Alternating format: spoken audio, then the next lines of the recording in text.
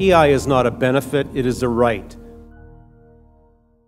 The uh, EI program, in terms of service delivery, has never been worse. You hear stories about people who are waiting for months to get checks. Uh, these are not isolated incidences. This has become common occurrence. Uh, the government has choices, and the government has chosen to reduce services for those who are awaiting EI benefits. What used to take four to six weeks to process claims is now taking two to three months. We see the faces of despair and uncertainty. People are out of work, they face an uncertain future. They have no idea if and when they will get paid.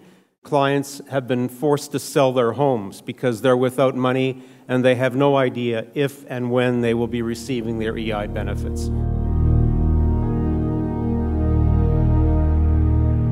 People are in desperate, desperate financial circumstances. Many of our clients are depressed. Many of our clients have made uh, declarations to our staff that they have contemplated suicide for fear of, uh, of the future and for being in poverty and for losing self respect and dignity.